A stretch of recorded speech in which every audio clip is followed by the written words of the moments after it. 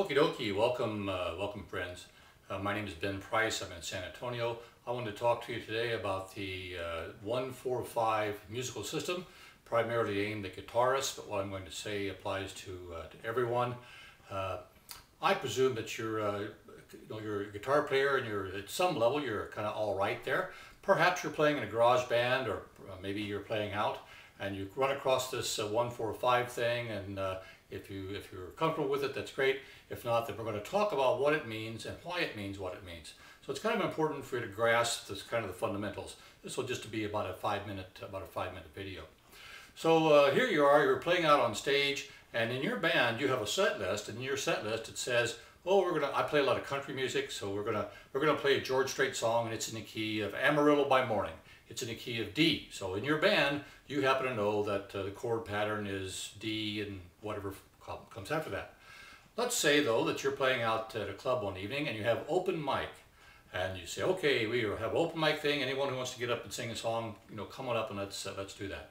So uh, sure enough, Billy and Susie come up and they want to sing a song. You say, great, what song are you going to sing? And they say, well, we're going to do Amber. I'm going to do Amarillo by Morning.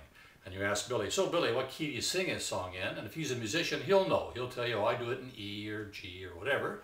But occasionally you run into people who uh, don't uh, know, and then you say, well, sing a little bit and I'll find you on the guitar here. So they start singing, and sure enough, you find them, and they're invariably in some key like F sharp or whatever. So, uh, and I know what you're thinking, hey, move them from F sharp to G, or move them from E flat to E, and that's okay too. However, we're going to talk about what it means to, uh, you know, accommodate the singer in those in those situations where you need to make a quick transposition of a of a song uh, kind of on the fly. And that's, that's kind of the basis of this 145 thing. So I have a diagram back here. I hope you can see this. I've really just kind of made a fretboard that kind of corresponds to a, uh, to a guitar uh, fretboard. And if you can imagine that, that the first fret here might be the nut on the guitar, and then the, the first fret is first line, second line, second fret, and so forth, on up to, uh, to the top. I've got a few more lines than what you'll, what you'll have frets, but I, I did that for a reason. So this really corresponds to your fretboard. Um, it, it so happens that the distance between every one of these frets is called a half step. That's important, remember that, a half step. So the distance between the, the nut and first fret is a half step. The distance between the eighth fret and the ninth fret is a half step musically, and so forth. So all these are half steps. All right, so let's talk about uh, a major scale. I know I'm getting off a little bit on the 145, but we'll be back, to that right away. So on the, uh, on the major scale, how do you know if you're uh, uh playing a major scale, what notes are, what notes are in there? Well, it's kind of simple. There's a formula. And the formula for this, uh, this major scale, which I have right here, is, it looks like this. And I can line this up with any of these frets I have. And the formula is Start, starting at a particular fret, any fret you want. The first uh, note will be two half steps up from that. The next note in the major scale will be two half steps up, then one half step up for the next note, and two, two, two, one. So here's the formula, two, two, one, two, two, two, one. You can make one of these little things, which makes, uh, makes life a lot easier to understand. So if I'm starting in some key, any key I want, I know that the, uh, the major scale will be comp composed, comprised of the notes that will be defined by this two steps, two steps, one step, two, two, two, and one. So, uh, well, that, that's great. Let's, uh, let's, put that to, let's put that to use.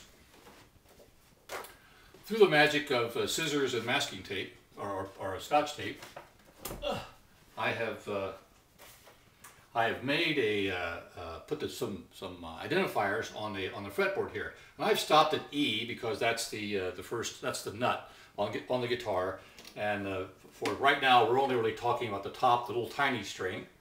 Could use the bottom string, but we're only talking about the top string. So this is going to kind of correspond to your, your top string. So if I wanted to know what notes were in the, uh, the key of G, like golf, I could line up my handy-dandy chart here, starting at G, put this right under the G thing, and then it tells me that, hey, the notes in the key of G are G, the next one is two half steps up, which is A, two half steps up, B, and you can probably see the rest. So it's G, A, B, C, D, E, and then F sharp, this one, and then G. So that's, that's the key of G. The beauty of this thing is you can kind of slide it anywhere you want. So if you say, well, we're going to play in the key of E, you can slide this down to E, and, and uh, you know that gives you the that gives you the the notes of the major scale, any major scale, as long as you start with the little tick mark here, it will tell you what the notes are in a major scale. It's E and then F sharp, two up, G sharp, and, and so forth. So that's great. So this will tell you how to define a major scale, any one you want. I've left a little room because I can go down here to C. This is a C, and we could we could do another another scale. But for the moment, I think that gives you that gives you a pretty good idea. So let's take that information, which is the the, the rule, the formula, 2, 2, 1, 2, 2, 2, 1. These are half steps. Two half steps, two half steps, one. Let's take that formula and apply that to the 1, 4, 5 thing. Ah, now we're getting somewhere. Here we go. If we start on any, uh, any chord, we'll just start right here, by, uh, by definition, that chord is called the root, and it says, it looks like R8T, it really should be R-O-O-T, that's the root. Some people call it the dominant, and if you're talking to musicians, some of them will have different uh, terminology for what we're saying, but it, that not so significant. What's significant is you kind of get the grasp of how these things relate to each other, because they're all the same, they're all the same. By the way, that pattern we were talking about for the major scale, there's another pattern that would be for the minor scale, and there's a couple different flavors of minor scales. But uh, the concept that there's a pattern and it fits throughout the entire thing would, is works. And by the way, if you're a piano player or, or whatever you play, same thing. It's always, this, this major scale pattern is always the same. So here's our 1, 4, 5 thing. If we're playing in the key of G, the root would be the G. So we're going to line up our root thing here at G. And it tells us that the fourth note in the scale of G is G, A, B, C. So the first note see this, first note, second note, third note, and fourth note in the major scale, in the major scale. First note, second note, third note, and fourth note. So that's called the four. And you can either, sometimes you'll see it in Roman numerals or four. And then the five is the fifth note in the major scale. Remember, in the major scale. So if we're playing in the key of G, we're playing a Cowboy Rides Away, a George Strait song. Uh, you know, you, and a person says, I'm playing in the key of G. You know already that's going to be uh, the chords are going to be G, and it's going to be another chord for C and a chord for D. And most of you probably already know that. And, oh, and by the way, frequently there's a second chord in a lot of songs, which would be the, if this is the first chord, the first note, the second chord would be this, and it's usually a minor. So it'd be a G, A minor, C, and D in the key of, uh, in the key of G.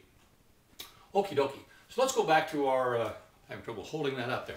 Our original question was, hey, Billy's on the stage and he says, I'm going to do Amarillo by morning, and you, you find out that he's in the key of F sharp, and you're thinking, oh my goodness, what am I going to do now? Well, you're probably not going to take this with you on stage, but uh, if we line this up, we would see that Billy is going to start singing in F sharp, and where you would normally change to, you know, if you're playing in G, where you normally change to C, you're going to change to a B, that's the fourth, so here's the root. The fourth is a B, and then the fifth is the C sharp. So happens in the Amarillo by morning there is a, there's another another minor chord in there, which is a, a B, be a B flat minor for that particular song. Don't worry about that. So here's the here's the concept.